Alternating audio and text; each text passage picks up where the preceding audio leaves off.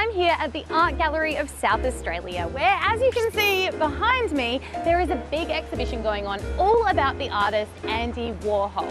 So, who was he? What was he all about? Let's go in and find out.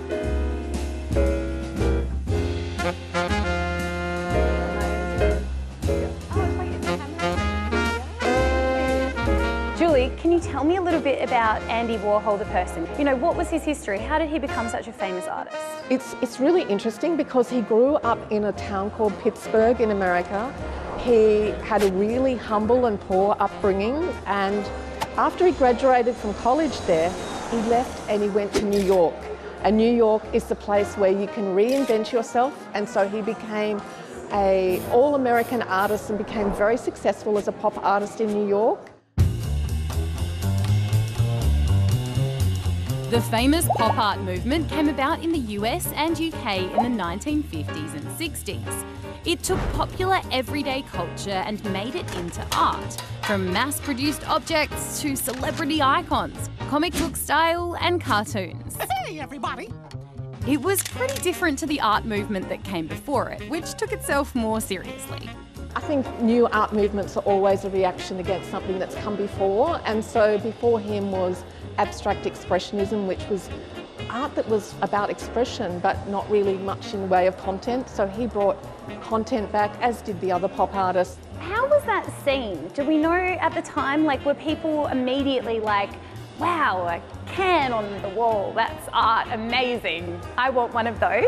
Or were they a little bit like... No, you're right. There were the people out there that were thinking, you know, he's, he's taking us for a ride. He's just, this can't be art. But actually, um, there were the people who supported him and thought it was fantastic.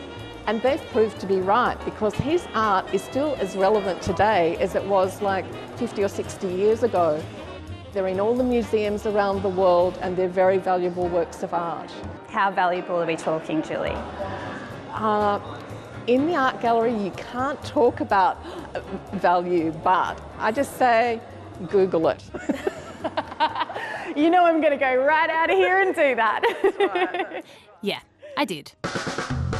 This one went for nearly $293 million in 2022, making it the most expensive artwork by a 20th century artist ever sold.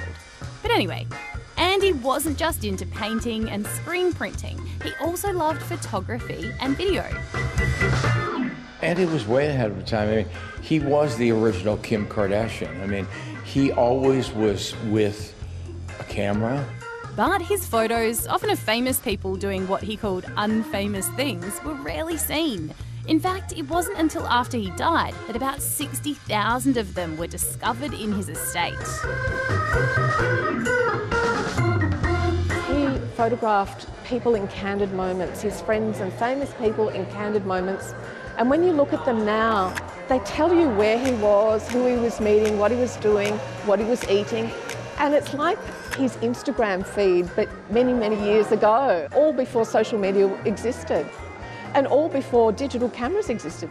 So Julie, he would have like a pretty good Instagram or TikTok today if he was still alive. Then, yeah, you're absolutely right. If he was still alive today, he'd have every possible new gadget, app, he'd, he'd be right onto it.